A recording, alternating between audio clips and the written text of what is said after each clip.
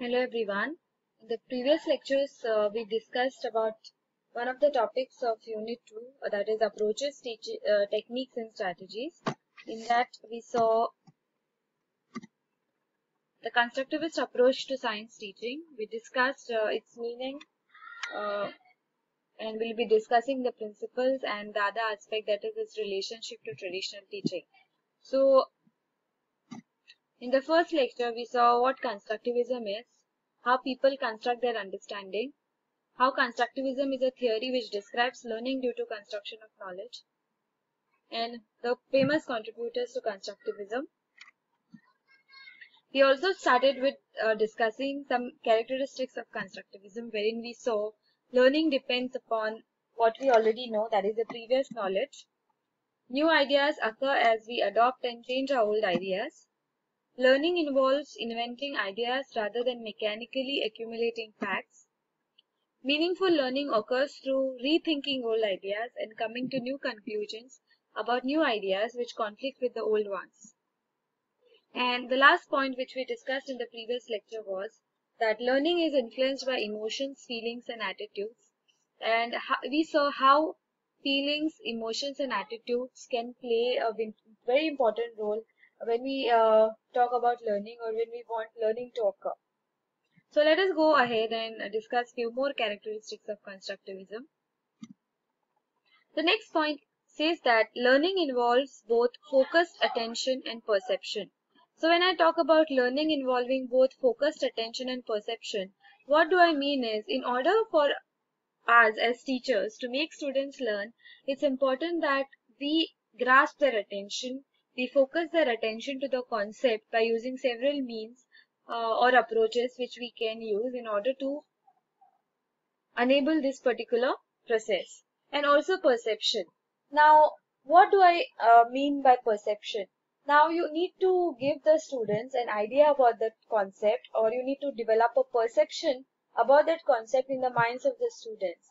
And that perception should be developed in the right way as they would be looking at the topic even in the future with the help of the perception that they create when they first come across that particular concept or a topic. So it's very important that as teachers, we also pay attention to how we can focus our attention to a concept or how we can build about their perception.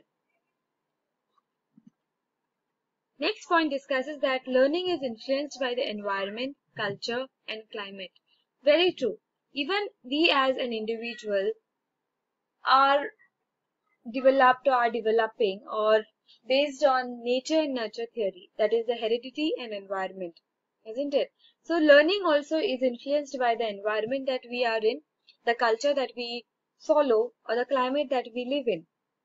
So it's very important that we create a very suitable a very conducive environment for the children to learn and understand or uh, a conducive environment wherein they are able to share what they feel or where they have that freedom of sharing their opinions, voicing out their opinions, and standing for what they believe in. So if you create such an environment for the students learning, in order for a learning to take place, you don't have to put in much effort, but only things, or the only thing that you need to take care of is the environment that you create should be suitable for the learning process, which you are planning to enhance.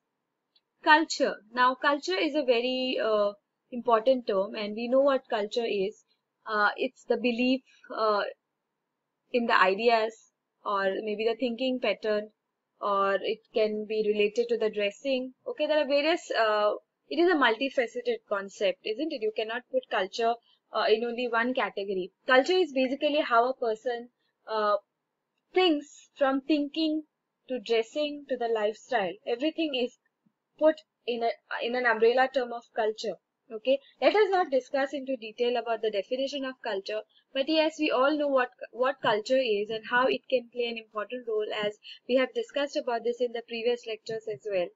And we have also seen that how culture plays a very important role and how education or how environment uh, is dependent or is culture specific or even how schools or the environment that we create in the school and the classroom can be culture specific and climate definitely isn't it what climate uh, you create in your uh, school what climate you create in your classroom again plays a very very important role uh, in order for learning to occur Next point is learning always involves conscious and unconscious processes. Now, what do I mean by conscious and unconscious processes?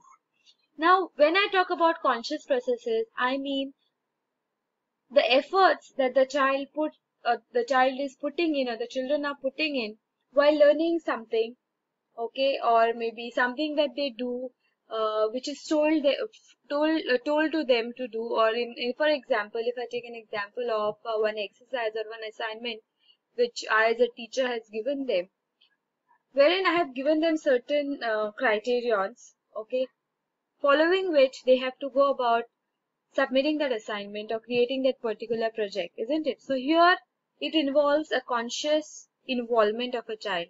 And unconscious processes are those uh, thoughts that we have nurtured or that uh, we have inculcated in the students while we were discussing about that particular concept on which they are doing the assignment. So when I talk about unconscious processes, they are nothing but the nurturing effects that you have uh, provided them with uh, while you are discussing about a given concept. So it's very important that in order for them to learn in a proper way, we do impart them those values or those ideas which they will uh, uh, or which they will register in their mind at conscious and an unconscious level too. So it's very important that we as teachers do do take care of the nurturant and the instructional effects. Instructional effects are some things which you can tell directly or which you can see directly, but nurturant effects are those which uh, are not visible. But yes, they make a lot of difference to the child when a child thinks about a particular concept or uh, it is basically the kind of a perception that you create about that concept in a child's mind. So that's how it plays a very important role. Then learning is enhanced by challenge and exhibited by threat. I think this particular statement is self-explanatory and it tells you what exactly learning is. Now, in order for learning to happen, we do not have to threaten the child by saying that if you don't do this work, you will not get marks. If you don't do, if you don't do this work, you will be failed in this particular exam. Here you are not challenging the child, rather you are threatening the child, which will exhibit or what you call it will there will be an exhibition of that learning in that particular child, isn't it? Because if you threaten the child, the child will not be curious to learn. Instead, the child will be under the threat. The child will only think about the threatening statements that you have made to him or her in the classroom or in the school. So it's very important that we learn the difference between providing them a challenging situation and threatening them. So it's important that as teachers, we need to give or provide them with challenging situations which will enhance their learning. This is something which each one of us need to understand because it really takes efforts at the end of the teacher to create a challenging situation, to create something looking at which or uh, performing which they will feel challenged because there will be students in your class uh, with varying level of intelligence, with various uh, liking or maybe with various uh, um, what do you call intelligences, isn't it? There are various multiple intelligence theory what we talk about. Each child is good in his or her own uh, way, isn't it? Some children may be good at singing, some may be good at uh, dancing, others will be good at writing. Okay, some are good poets, some are good uh, orators. Okay, so there are various qualities that each student possesses. So it's very important. Why am I saying that uh, creating a challenging situation is a bit difficult task or it requires efforts at the end of the teacher? Because uh, when you will be planning a situation which you would assume would be challenging for the students, you need to take care of all these things. You need to understand the nature of the class, the nature of students that are a part of your class, and whether this activity will be like them or will be liked by them or not. So all these things as a teacher you need to take care of.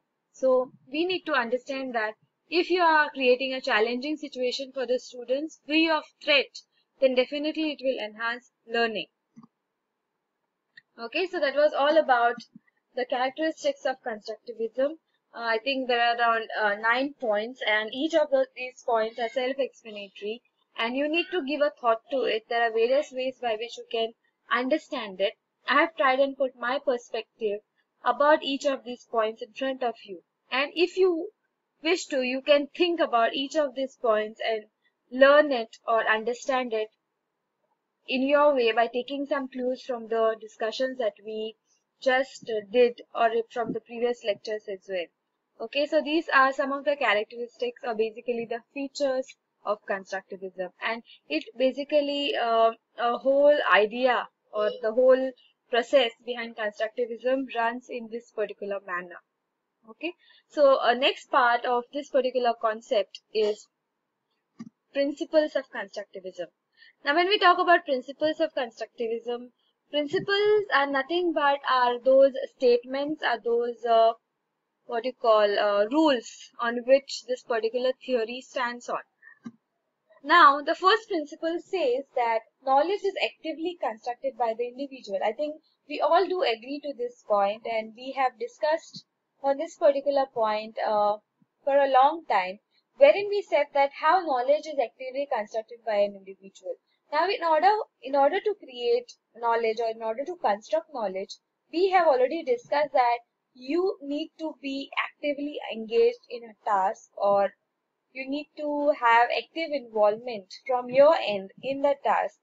Otherwise, it is very difficult to construct knowledge at your own because constructivism theory believes that knowledge is constructed by the individual. Knowledge is some, not something which can be imparted by another individual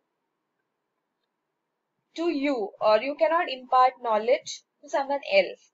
It is something that they themselves create. Isn't it? You can only pass on the information, but knowledge is something which they have to construct or they have to create. And the kind of knowledge, the form of knowledge uh, or the way the information is perceived will be different for different individuals. So your knowledge about this particular concept will be different from the person uh, who is sitting next to you, isn't it? Or your classmate or your friend. So if you each of you will have a different knowledge or different schema of this concept of constructivism. So I think it is very important for us to know this first principle and I think most of us are aware of it. Moving ahead, let us see the second principle which says that learning is both an individual and a social process. It's a very elaborate point and I think uh, maybe in the next class we can discuss more about this point which wherein we'll discuss how learning is related to an individual and how a society or how a people around you, how your peers, how your teachers and how your parents or somebody more knowledgeable other plays a very important role in the learning process of an individual. Now we know that learning is an individual process, as in, as an individual, you have all the qualities, you have all the powers to learn something on your own, provided you are given that enough support, isn't it? But there are theories which also believes that apart from that information which you need to get, need to be provided by somebody else, okay along with that a support a support a different kind of a support from another individual whom we call a more knowledgeable other or mko plays a very very important role and we shall discuss more about this particular process and this particular point in the next class so till then you can go through the characteristics that we just discussed and see how you understand them or if you have any queries related to the characteristics that we discussed uh, please uh, write your queries and we can discuss it maybe in the next class. Thank you.